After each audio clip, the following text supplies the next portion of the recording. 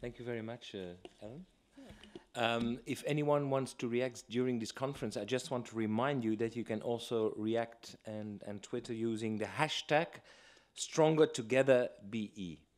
So, so it's uh, also on the booklet, eh? on the right-hand upper corner, you have this account. Uh, and I, I would also like to thank DGD for uh, making available this beautiful conference hall because this is not evident. We have to book it long in advance. And as I see the number of participants, uh, we really needed this, this big conference hall. So uh, really thank you for facilitating this. And I would like to, to introduce eh, Dr uh, Brad Strickland. Um, and if I look at your CV, uh, Brad, I see that you're a living example of lifelong learning eh? practice. So that's uh, good that we have someone like you for to share a, a few of your uh, experiences today.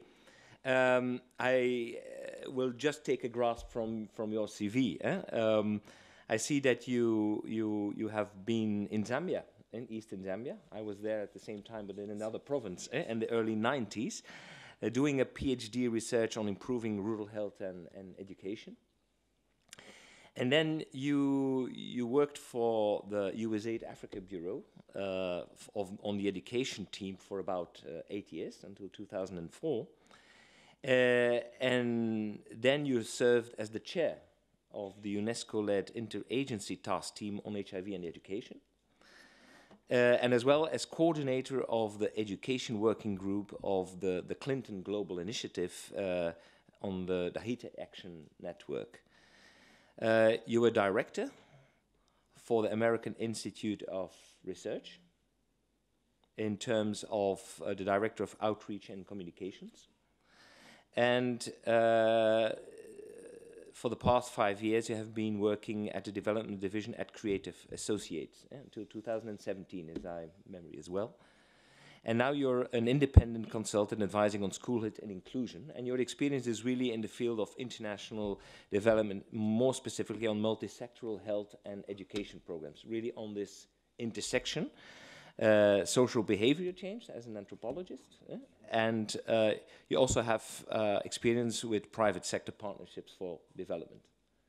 Please complete if I omitted something important, eh? but the floor is yours.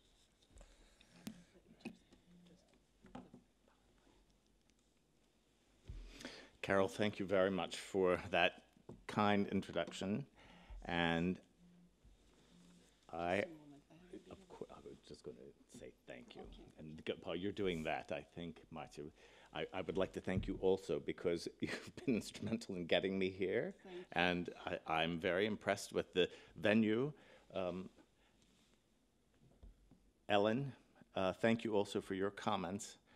The clear description of facts and priorities for this intersection between our two sectors is given very clearly by you. I, we have, uh, I've been working at the Global Partnership for Education for the last few months, and the fact sheet and the infographic, all the materials that are actually on that website, uh, recite much of the same justification. My title at uh, Global Partnership for Education is Health and Inclusion, and much of the justification for working in health within the education sector and in schools is focused under equity and inclusion, and gender and specific. So as we go through today talking more about specific activities and applications of health within the education sector, I think uh, it, it, may come forward. Um, it, it, may seem obvious. If it doesn't, uh, I would invite people to ask questions. I said to Carol as we're getting started, I, I'm, I'm an anthropologist by training. He and I overlapped in Zambia. I was in the bush in the early 1990s, living in uh, rural villages. I dress like a bureaucrat now because I'm living and working in bureaucracy in Washington. But in fact, I'm much more comfortable in the village still in sub-Saharan Africa, either in Zimbabwe or Zambia or Malawi. So I would like to have uh, the discussion today be as uh, interactive as it can be. I've got slides prepared, and if you would like to ask questions that veer off of them, that's fine too. Um, Ellen, I would also like to extend my gratitude to Deputy Prime Minister De Croo and the uh, Ministry of Development Cooperation, VVOB, for all of their support on this particular nexus of uh, interests. I, I make I made some effort to get here, and I would make some effort to do it again, uh, whether it were in Brussels or in Harare or in Lusaka or in uh, Cambodia. The uh, opportunity to actually talk about the importance of this intersection between education and health uh, is rare to actually have an audience of this size. It doesn't happen very often. And we're very fortunate to have the opportunity today. I'm, I'm so glad to see such a good turnout, and I'm very happy to be here. And I thank uh, Educaid and Because Health both for all of their support getting me here today and for bringing this conference together. So I played with various titles for what I would, my, my key remarks. Um, but I really think we are talking about promoting cross-sector linkages in health and education. There are very clear ways to do this. They're, they're very, it's a incredibly important time to be talking about it. The stars are aligning. We should be able to move this forward. It has been, I've been working on this for, well, towards 30 years now. Um, and Dr. Drake, who's on a panel later on, she and I, uh, along with Dr. Uh, Professor Bundy at uh, London School of Tropical hygiene and medicine. We've been working on this a long time, and we'll cover some of the key frameworks that go forward, but the time has never been better to work on cross-sector linkages in education and health, health and education, however we want to frame it. Um, and I think we need to really seize this opportunity and push forward in a very practical way. It is, it is, there are practical ways to do that, and there's no reason for us not to do it. Let's see, this is just going forward. Okay, I thought first I would uh, give you a quick overview what to expect from my slides and presentation. We can take it off in another direction if you would prefer. I'm going to talk a little bit about the cross-sectoral frameworks globally that we're all in education and health been working with, the MDGs and the SDGs, where we got our license to focus on these things and the real drive and mandate to do it. We have new sources of evidence. They're not um, necessarily all new research articles, but compiled in new places, new ways to promote the cross-sectoral linkage in education and health. Uh, DCP3, Disease Control Priorities, this third edition, which has just been launched uh, in the last few months, is an incredibly important resource. Volume 8 itself is dedicated to education and health. It's dedicated to child and adolescent health priorities and using the school as a platform for uh, focus on school-age children. It's incredibly useful, and, and we really need to capitalize on the presence of this volume, I think, and I can make that recommendation in all confidence. We also have new modalities in development assistance, and I'll talk more about that. And then part of the rationale for those modalities is the massive scale. Global population is, is, is enormous. The number of youth and the, num the amount of need is enormous. There's no way we can do this without really talking about taking things to scale, which we need to be doing clearly. And finally, because I am a village-based anthropologist, I have to put something in about community level excitement. If this doesn't resonate in households in rural parts of the world, we've completely failed. It doesn't matter how clever, how technically precise our interventions are. If parents, children, teachers aren't excited about what they're doing on health activities in schools, it, it, they won't even show up. It, there's no reason to even be doing it unless we really are thinking about the needs at the community level and making sure that programs are relevant and resonate with families. So about my own background, I've said enough about being a, a village field-based anthropologist, um, but I, I, will confess I am primarily, I've worked mostly in the education sector since going from the village to development work, and my bias is in the education sector. But when we talk about cross-sectoral programs in health and education, I don't think uh, we can get away from dealing with the education sector. As Carol said, both of these sectors have incredibly important roles to play uh, in this cross-sectoral focus, and the technical spe specialization that is needed in both for delivery of services is immeasurable. One, one cannot discount that in any way. someone like myself who's focusing on the collaboration uh, between the two sectors, um, we have a role to play, but it's not the same as a health practitioner. It's not the same as a teacher. There are people doing very specific things, and we need all of them to participate when we strategize what the priorities are at community level and school level. Um, I will point out that most of this, uh, the frameworks that we refer to date back to 1986. That's sort of the, the starting point for uh, the Ottawa Charter for health that was out of WHO but it really was focused primarily on uh, community public health outcomes. It wasn't really focused on schools. It did say that we need to focus on uh, multi-sectoral approaches, but it didn't give much guidance on how to do that. The, oops, sorry, the UN Convention on the Rights of the Child, of course, is the second big uh, framework that, that, motivates us all to focus on uh, education and health both as universal human rights of children. Then WHO in 1995 uh, launches the Health Promoting Schools Framework, which is a very important uh, tool for focusing on what uh, specific health needs of school-aged children can be effectively addressed through schools. Although WHO is not talking specifically about doing this in schools. It's talking about using schools as a way to affect community-wide health outcomes, which I think is from my experience, probably the most common way that working with health sector and health and education works.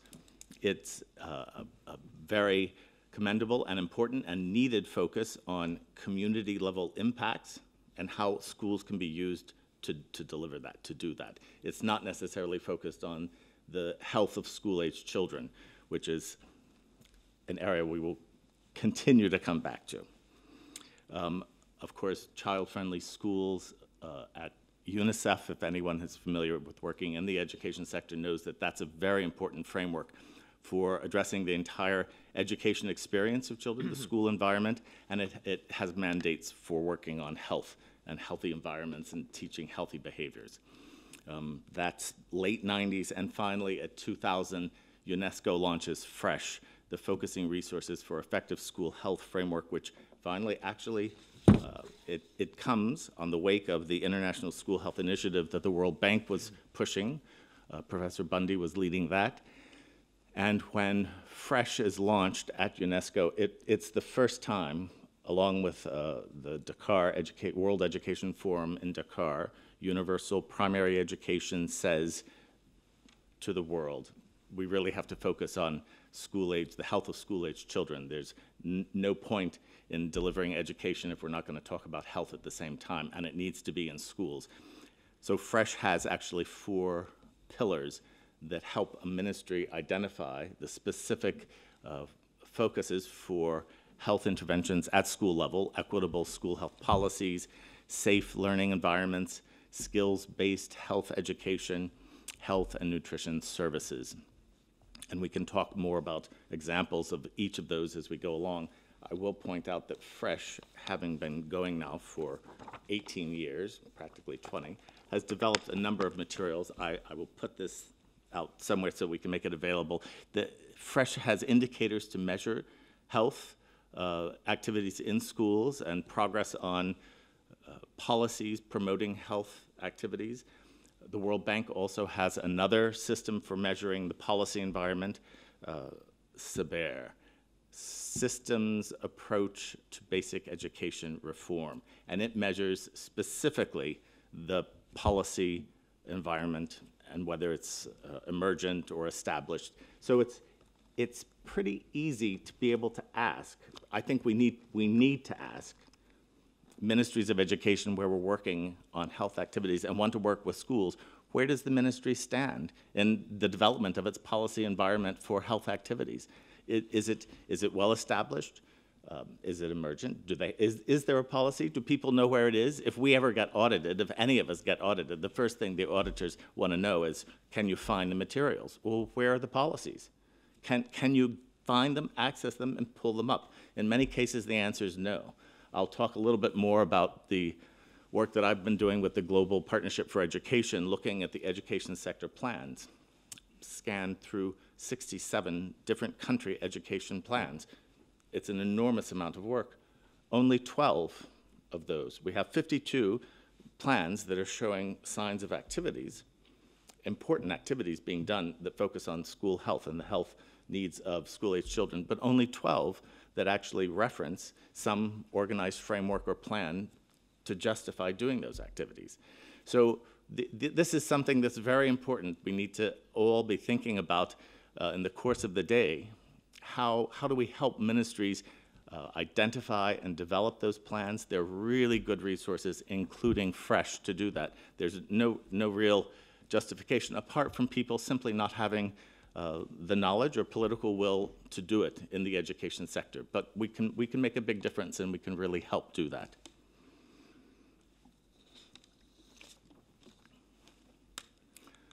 So I thought I would focus for a, a, minute on the MDGs and the important outcome that we saw from those, and then the transition to the SDGs. There are uh, professionals working in education, Alice Albright, the CEO at uh, Global Partnership for Education, is actually quite fond of pointing out there's been tremendous progress made on the education goal from the MDGs, which was actually a call for focus on universal primary education. And there's been tremendous pro progress made on goal number four from the MDGs, reducing child mortality, under five child survival. And those of us who are familiar with the health sector know exactly what that means. Uh, maternal mortality has dropped radically. Child survival has improved dramatically the MDGs shined a real light on those things, and there were tremendous gains made. But that's the foundation. It's, it's, it's only part of the equation, and this is Alice Albright's point. The SDGs push us to really focus now on a much more synergistic approach to doing these things that force us to innovate in ways that the MDGs simply threw the goals out there. Now, uh, SDG two, three, four, five, and six. If I go to those, reducing hunger, I don't know, can you actually see those? You probably see them better on the screen than I can see them on my paper. Um, three, of course, is focused on health. Four is focused on basic education. Five, on gender equality. And six, focused on clean water and sanitation. And school health activities, education and health, as, as, we would refer to it, really directly supports each of those one, two, three, four, five SDGs. There are some working in school health who are real uh, proponents of saying, no, school health supports all 17 SDGs. And that, in, in some ways, that is true.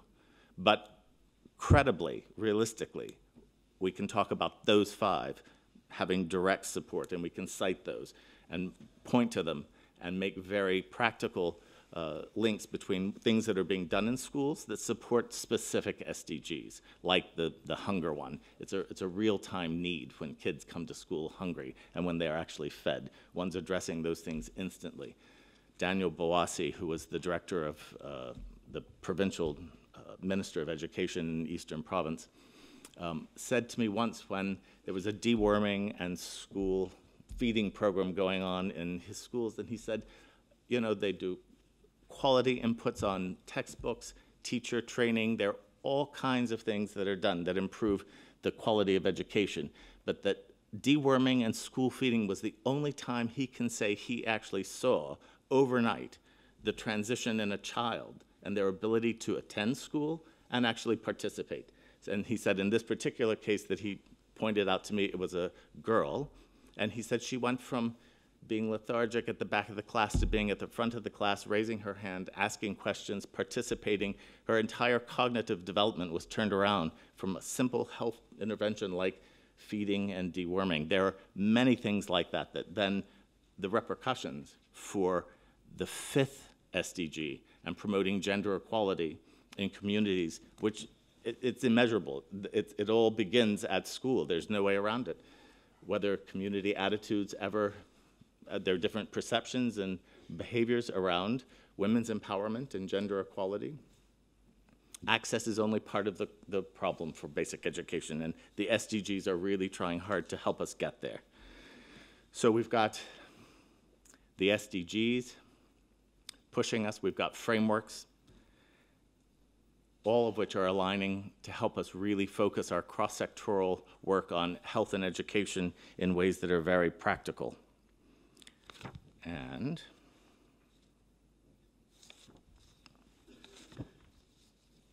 I, I, I will point to a blog that's on the GPE website that I actually wrote, which highlights specific health interventions that we found in the education sector plans. They're very specific and link directly to uh, one of the five SDGs. So I, can't, I, I, I will leave it to people to go read those. I could go through some of them myself, but there's not a lot of point. We could ask questions and have more productive conversation, I'm sure.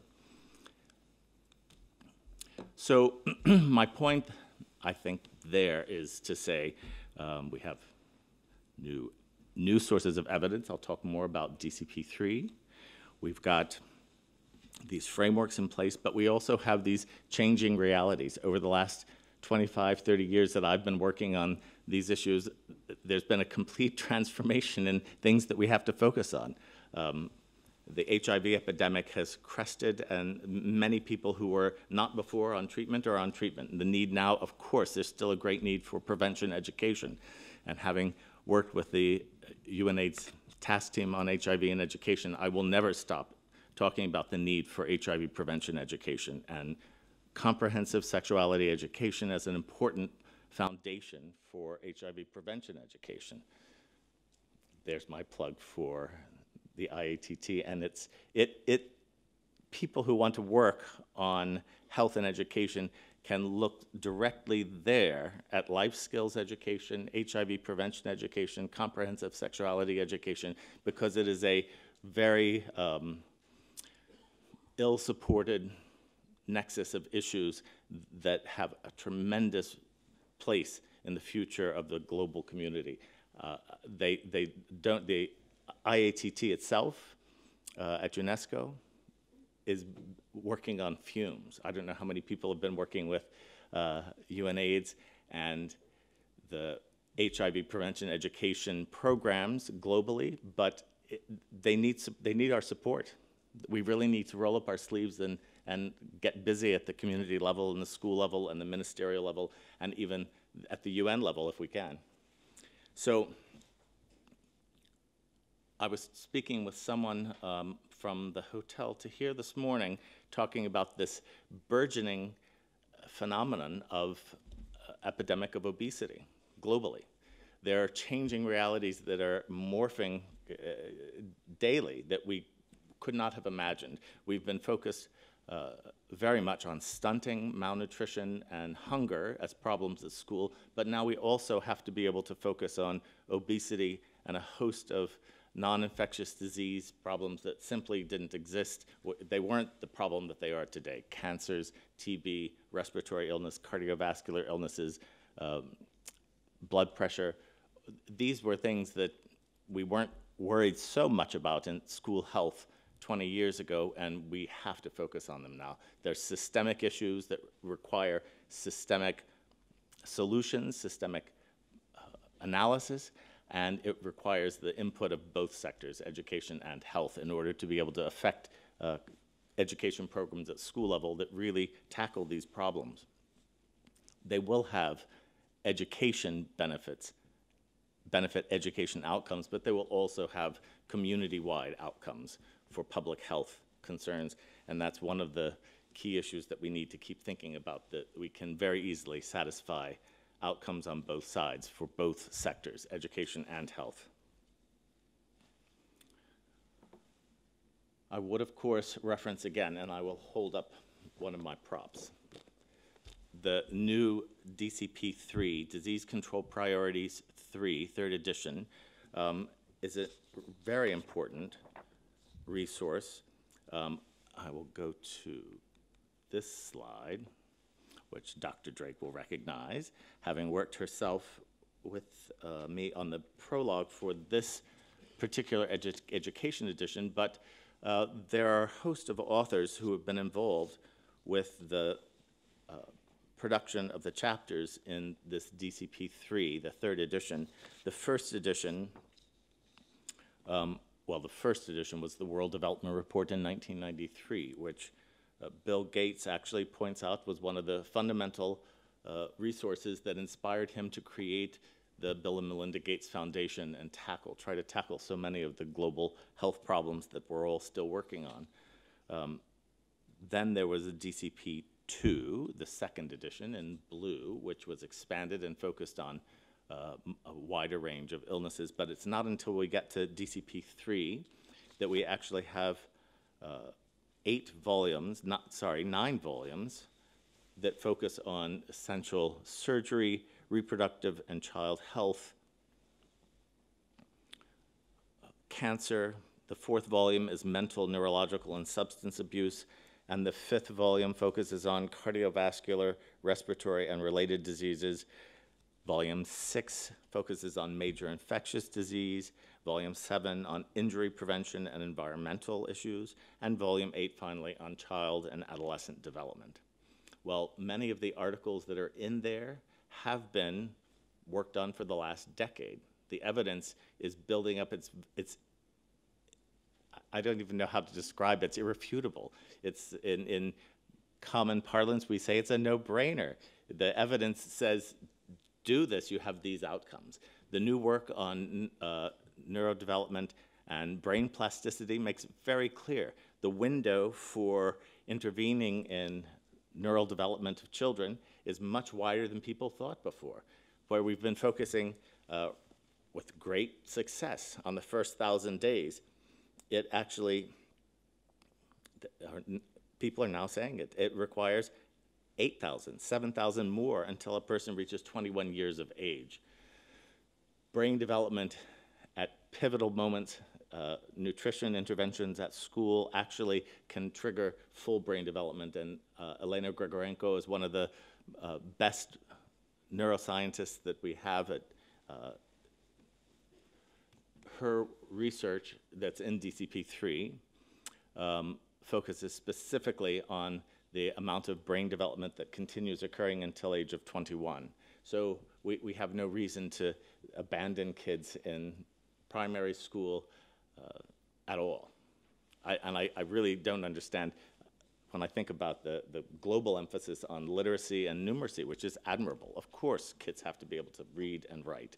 But what is the point if we're not feeding and allowing brains to develop in ways that can actually uh, accomplish these things? It really, it really is a no-brainer by now.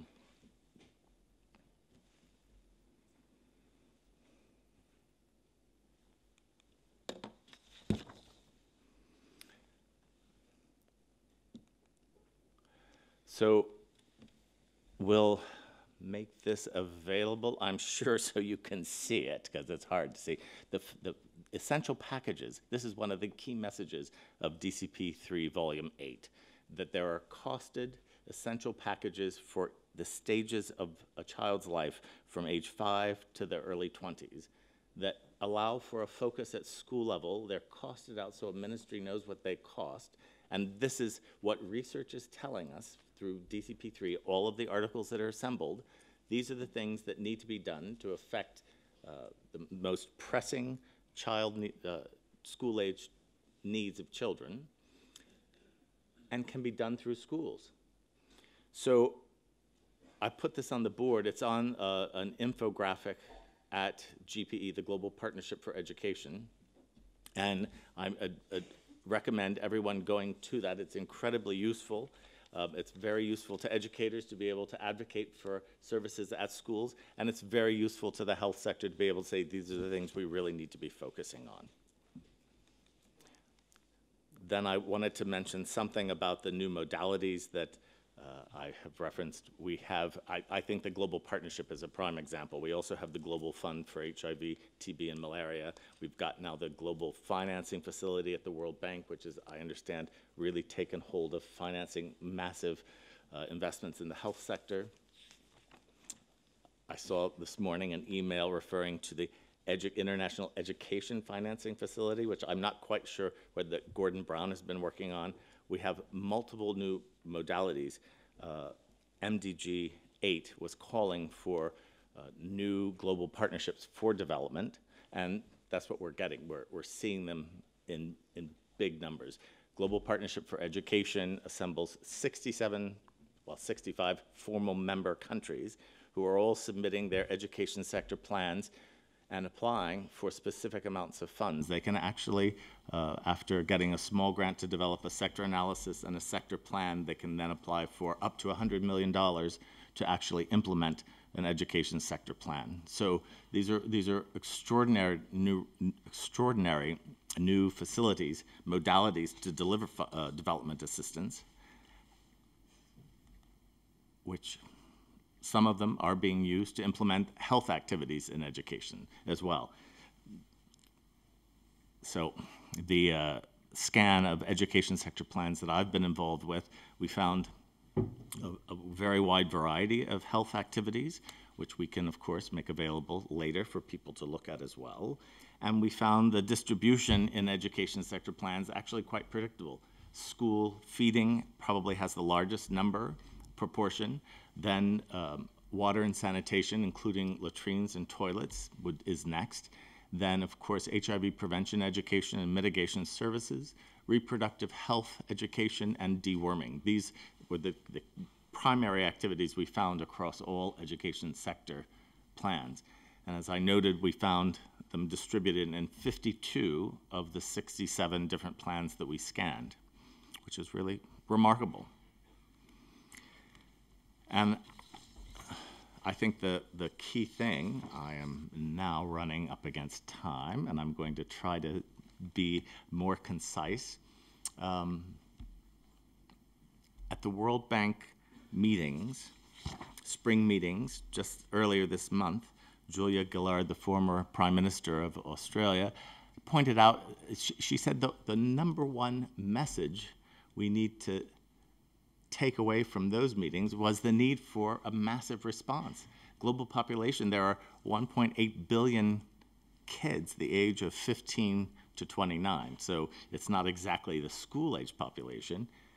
It's even larger if we think about the school age population up to age 21. She, she was pointing to the fact that, you know, focusing on a few hundred thousand kids or even a million kids is, is not enough to tackle the scale of intervention that we actually need to be undertaking. And I, I believe firmly we're, we're going there. We have to keep pushing on it and identifying these facilities and to, to deliver development assistance. But then I still come back to the point I made earlier. If it's not exciting to communities and kids and parents and teachers at, at local level, what's the point? That uh, you, we could spend all of our time inventing this massive uh, level of response. And if it's not actually useful at community level, then we really haven't done anything at all. So I'll finally conclude and bring it uh, back to a base. I told Carol I had two different endings. I could go, I could skip over this couple of slides, which focuses on institutional level support to ministries of education specifically and how uh, bilaterals like uh, the Belgian Ministry for Development Cooperation or USAID or DFID can support through local missions, working with ministries of education. The next two slides I have after these two are focused on ministries working with communities and how a development agency can actually help foster that relationship. But I think this is probably a step that we really need to focus on for the next 10 to 20 years, and that is helping ministries decide how they're going to focus within the education sector. And I have um, props again. This is uh, something that I had worked on in 2011, which is still completely current. It has very clear, easy steps for um, working with the Ministry of Education to develop frameworks to help a ministry identify its own prioritization. Um, and the, the steps I really wanted to focus on the most are facilitating that strong cross-sectoral policy environment between education and health, which in many cases, you know from working at field level, may not exist at all.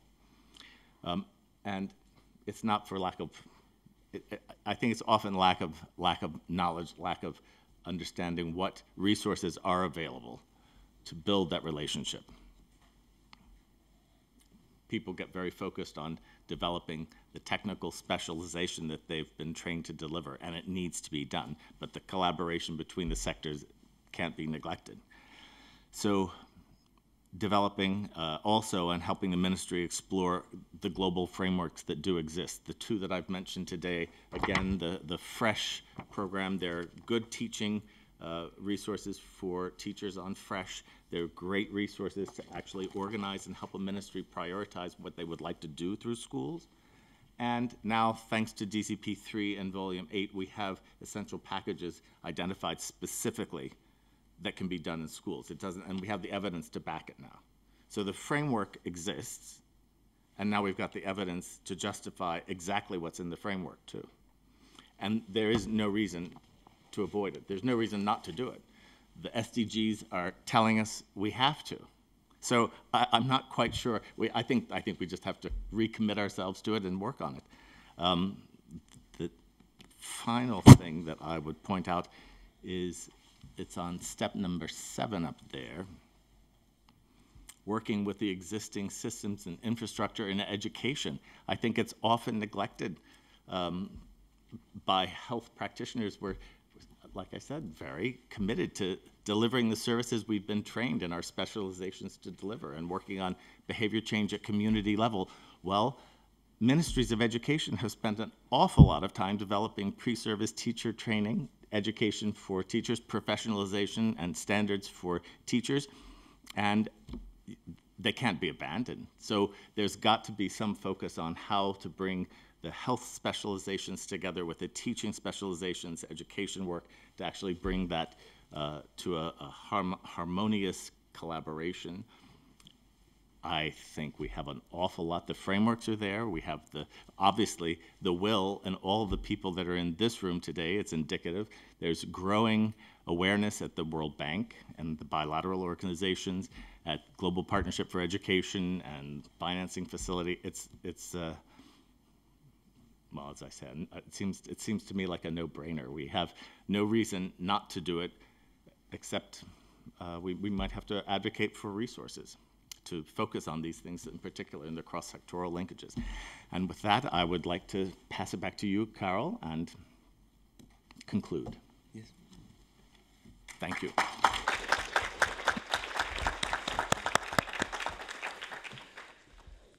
Thank you very much, Brad. It was very inspiring, very rich, I would say. And as you say, uh, uh, a non-brainer. Uh, so there's a lot of things which are there, uh, frameworks, uh, evidence, eh, but there might be need for uh, resources and also rolling up the sleeves eh, at, at every level. So this is becoming a, a, reality together with the communities and the households that it's making a change at that level. Eh. Um, looking at time, as you said already, time is not with us, but I would like to give a small opportunity, if I may, to for one or two questions. Eh? Um, of course, we have coffee break, we have lunchtime, so you can interact directly with Brad. But if there are some questions, eh, one or two, please go ahead. Yes, one. Uh, thanks, Brad, for that really rich presentation. Something I was quite uh, surprised by and interested in was uh, the recommendation. I think in the uh, DC, uh, D, you called it DCP three, um, that comprehensive sexuality education uh, should start at 10 years old. Um, and I'm just wondering what your thoughts on that, because uh, from, from my perspective and, and what I know is that comprehensive sexuality education should start much younger, uh, uh, even in kindergarten. So I'm just wondering what the thought process was with that and how that recommendation came to be. Thanks. I think I recognize Yona down there. And I, th- you know, those are one of those questions, Yona, who you're with Plan, correct? Yes. Um, in my experience working in sub Saharan Africa, this is one of those questions that uh, I, and I would, I'm venturing to guess, I would have to go back and reread the exact chapter uh, where the evidence is from those. I know that the CSE uh, components have not been costed. They, that's one of the areas that still needs more research for costing. There isn't enough evidence yet. I do know that it's one of the most sensitive issues for uh, an address at community level, and I'm assuming that the authors are working to handle that as carefully as possible. I know UNESCO is in total agreement with what you're suggesting, and the work that I've done with the interagency task team on HIV and education, everyone would say exactly the same. It needs to happen uh, earlier in primary schools. The fact is, when uh, I think it was a UNICEF conference in Zambia on comprehensive sexuality education a couple of years ago that I attended, there was very vocal opposition to any sexuality education at any level of primary school.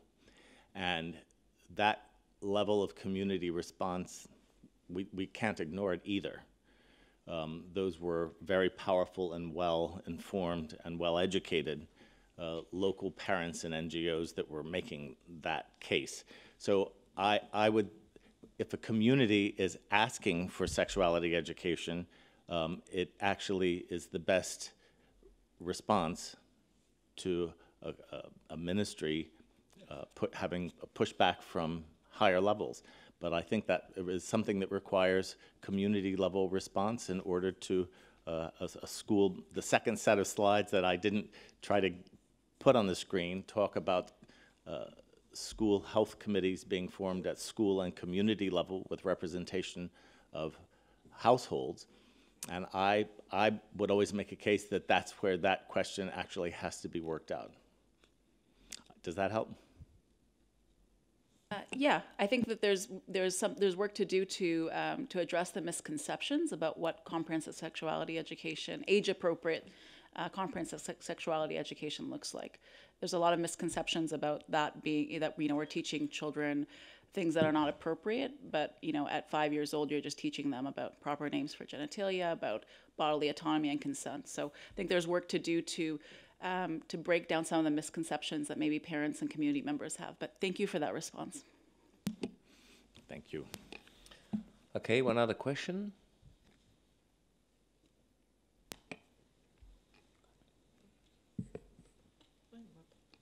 Yes, at the back. Ah, hi. Uh, hello, Amelia Najros uh, from FAO. I thank you very much for your presentation.